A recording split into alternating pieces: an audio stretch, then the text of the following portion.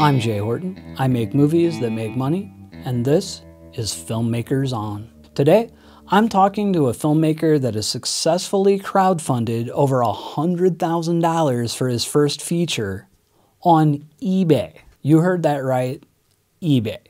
Flavio Alves, he did it. Stay tuned to find out how he did it. Let's do the interview thing. The first thing I want to ask, because I was reading the, uh, the press release for it, and um, so, did I read this right? You raised over a hundred thousand dollars in crowdfunding using eBay. Yeah, I, I wow. did.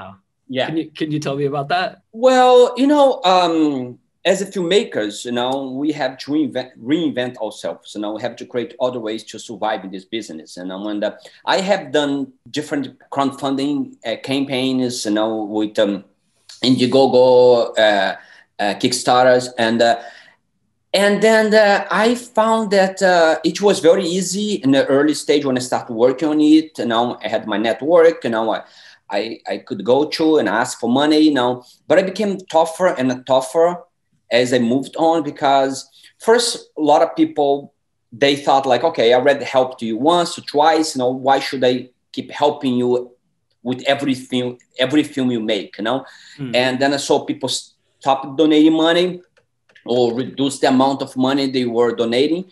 And then second, it there are so many projects out there for people to donate money to, you know.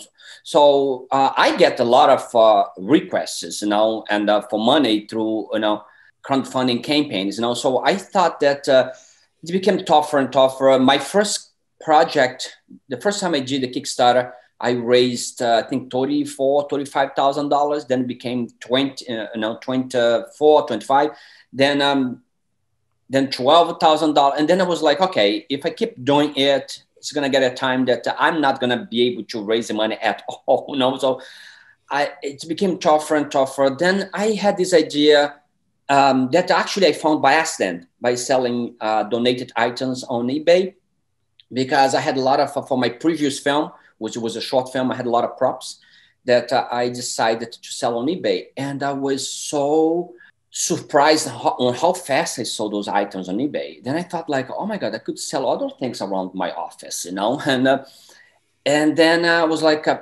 bingo, uh, I think I can raise the money, you know, I can raise money for my next film on eBay.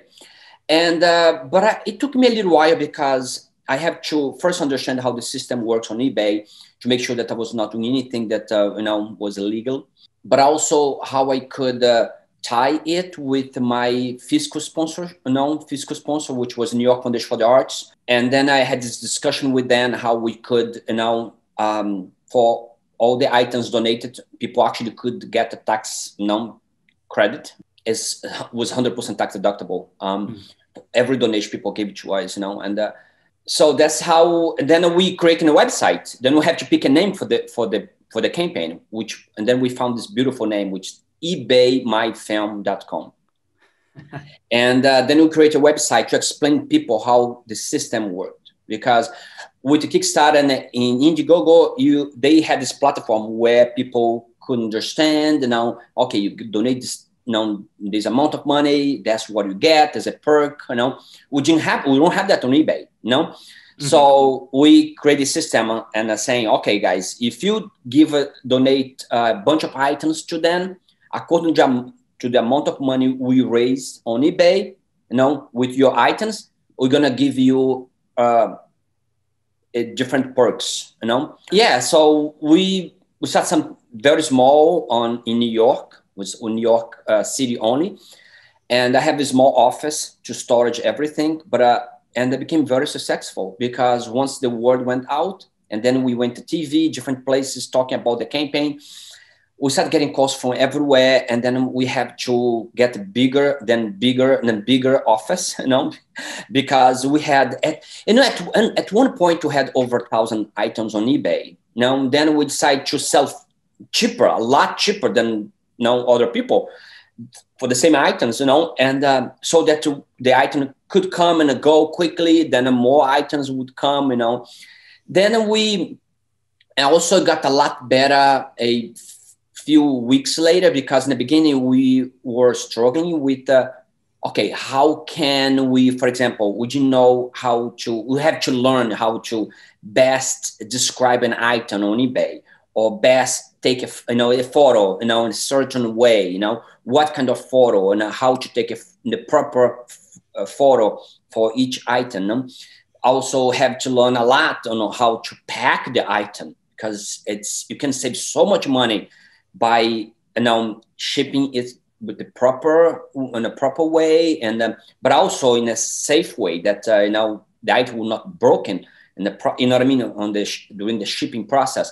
So so we had the best way was to get the different people doing different things because they became specialized. So mm-hmm. so I had one person describing the one or two you know, people describing the items that mm-hmm. was coming. I have another person uh, packing, you know, another person taking the package to the post office or to the FedEx. And I have another person taking photos. We had an umbrella. We have a little in the corner of the office. We had this little umbrella. Looks like a you know photo shoot uh, you know office, you know, and in the corner of the office. And uh, was a pro- was very quick. You know, the item was coming. Someone was taking five to ten photos, then moved the the item to another person who was we had to do a little research about that specific item and uh, putting it online on eBay. And then uh, once we mastered that, uh, you know, that entire process, then it became so much easier.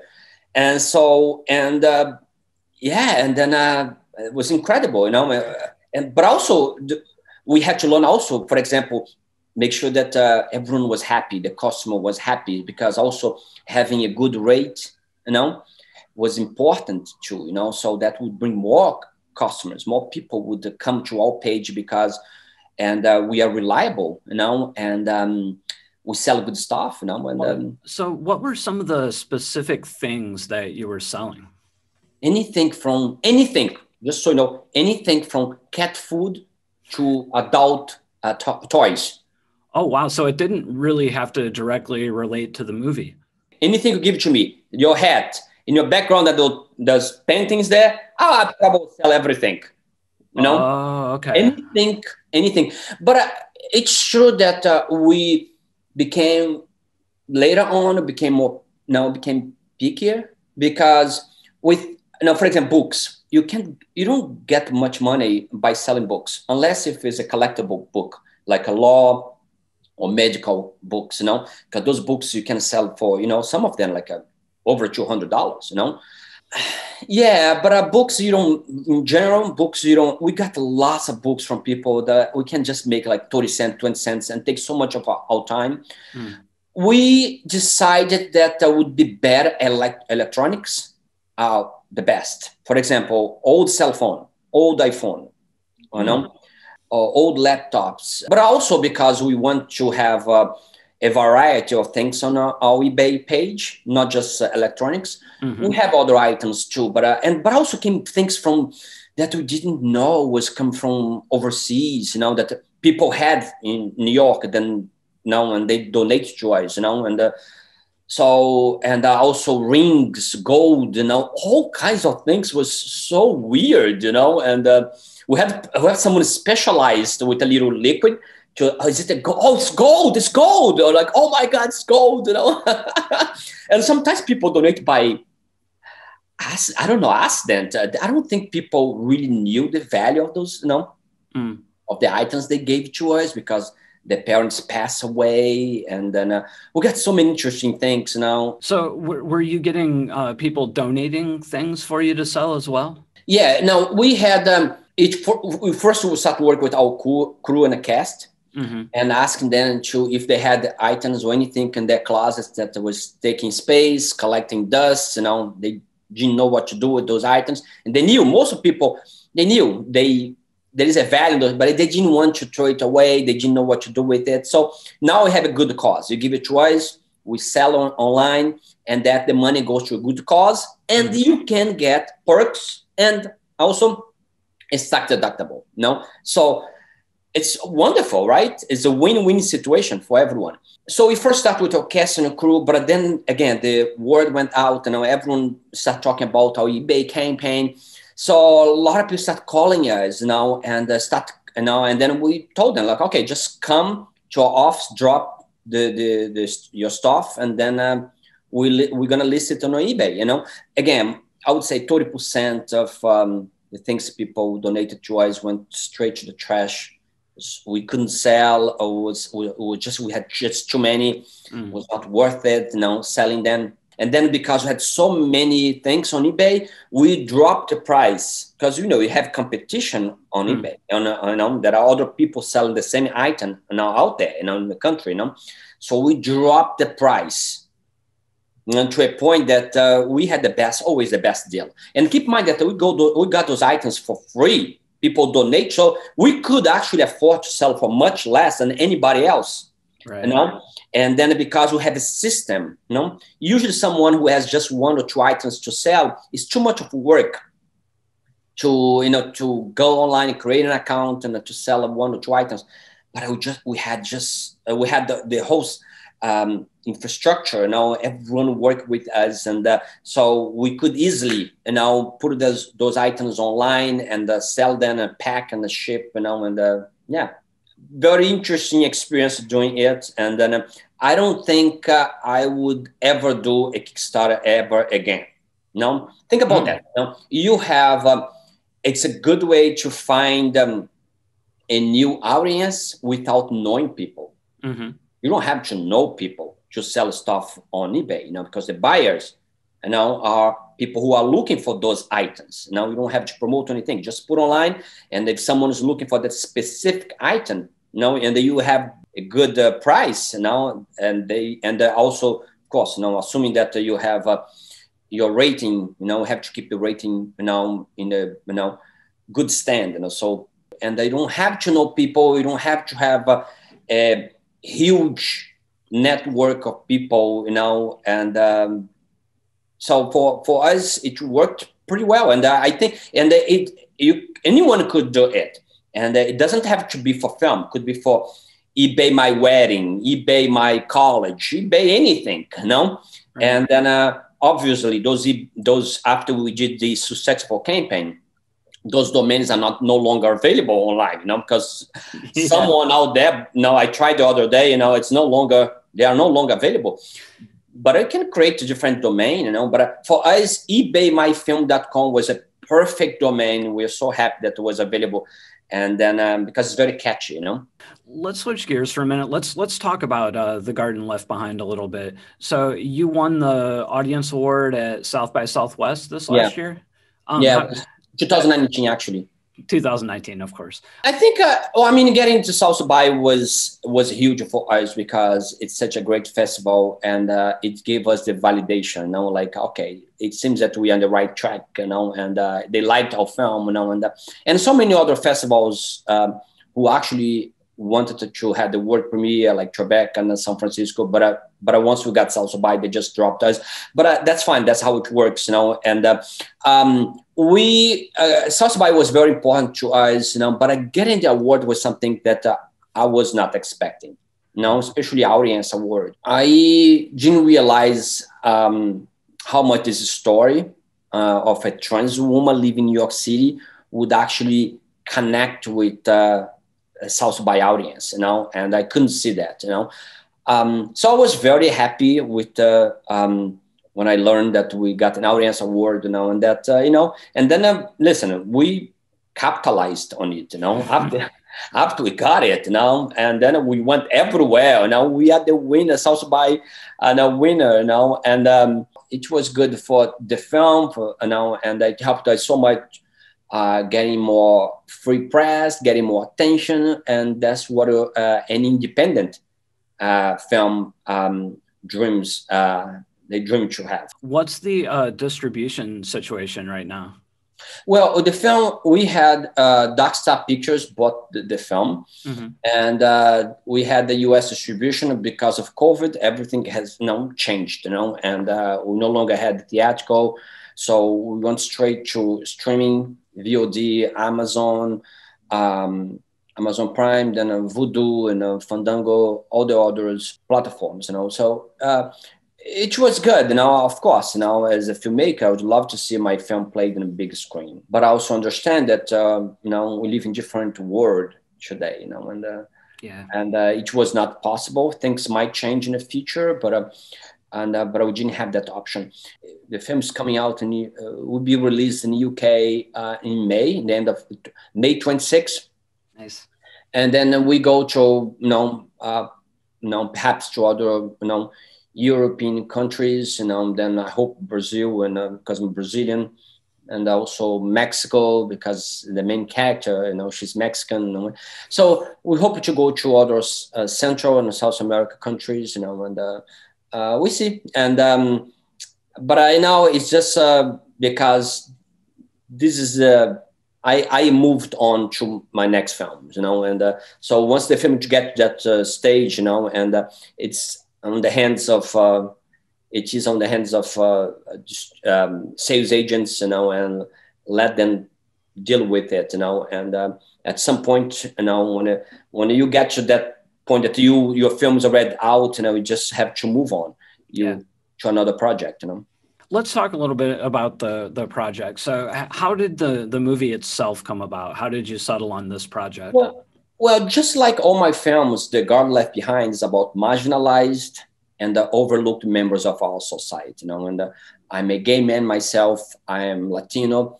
So i do understand what it means to be an outsider you know? And um, so, uh, and today I'm glad that I'm in a position to make uh, an impact on that front, not only by telling stories of people um, like myself, known, um, who have to be Latino and a gay man, but also telling stories of other people who don't often see themselves on the big screen. So I want to keep telling stories about um, those people who don't have a voice.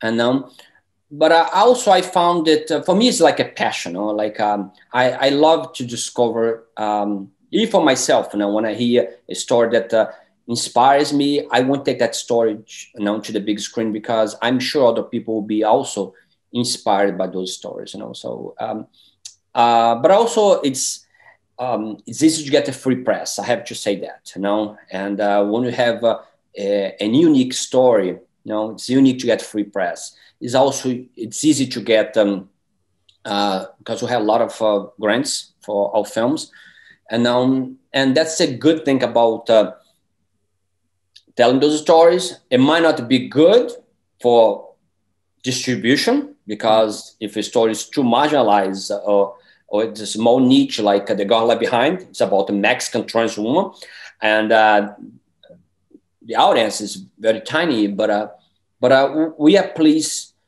with the results. You know, we got a lot out of this film. Know, um, not only not only in terms of uh, getting to major film festivals and getting grants, uh, even the eBay campaign, but at so many other things that uh, we did that uh, we are very proud of. You know, like like for example, working with marginalized communities, giving giving voices to those communities. It's very important to me and to everyone involved. Yeah. So I was looking at your IMDb. So you've produced a lot of things. Um, h- how many features have you done at this point?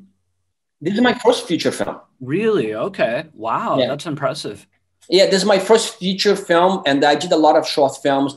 And the reason for that is because I, uh, by producing other films, I realized that um, would be for me um, I would have a short career if I had gone straight to my first feature film as opposed to do all the work I did with short films because the short films are sort of a lab, you know, where prepares filmmakers to the big journey, which is making the first feature film. I spend a lot of time with my uh, doing short films. I learned so much about the craft, uh, uh, you know, but most importantly, building my team. You know, mm. because by working those short films, I know I knew who who was who, you know, and uh, who I could trust, you know, who I wanted to take with me on that, uh, you know, uh, journey, you know, and then, um, but also I treated uh, those short films as if they were like a feature film. Mm-hmm. You know? For example, I I did the entire process. You know, I I you know I got the star big stars. No, uh, for example, my last short film we have two Academy nominees, Sally Kirkland and Burt Young, oh, working wow. on the film, in a short film, you know. And then, um, so right there, I learned so much about uh, working with stars, but uh, you know, working with uh, casting directors. You know, um, you have to make sure that you have the right uh, right people. You know, you are surrounded by the, the best the best people, you know, and the, the be- and the, the way to find out is by shooting, making short films. And then, so my producers, if you see, you know, my short films, they are pretty much the same. The team is pretty much the same, you know. So it was a good experience working, making those short films because it was sort of a lab for me. It prepared me for the uh, for this for this big journey, which is a shooting a uh, my first my first feature film. Also, we my last short film we got it. I got it. I think 140 or 150 film festivals. So again, I I know I did everything I for my uh, for my feature film the same thing that I did for my short films, and that was a good way to understand the entire process. So so there is no surprise. Now there are no surprises like uh, oh my god I didn't know that. Well, uh, that's why I make short films, and uh, it uh, it paved the way now that we walked with uh, the future film.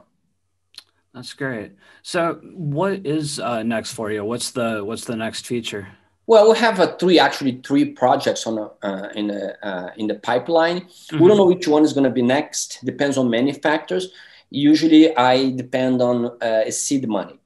No, mm-hmm. so what I do is I submit all those projects to foundations, you know, and uh, hoping that one of them, you know, would get, uh, you know, um, a big grant, you know, and that grant is we use usually we use as a, you know, um, as a seed money, you know, to get an attorney, to get an office, and uh, to attach the first star. That's what we do, you know. And uh, once we have those three things, you know, we have the office, we have uh, uh, the attorney, and um, and we have um, the first star, and that's what you need actually to just go and uh, do whatever you want to do. You know, the rest is just like, uh, you know, you start getting the uh, crew and a cast because that's what you need actually to get the project uh, um, started. If you're enjoying these little talks, please consider supporting me on Patreon. All the cool kids are doing it. But whatever you do, keep making movies.